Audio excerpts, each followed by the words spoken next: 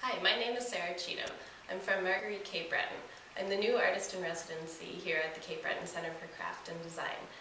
I'm a ceramic artist and I graduated from NASCAD in the spring of 2013. I'm really looking forward to my time here at the Cape Breton Centre for Craft and Design.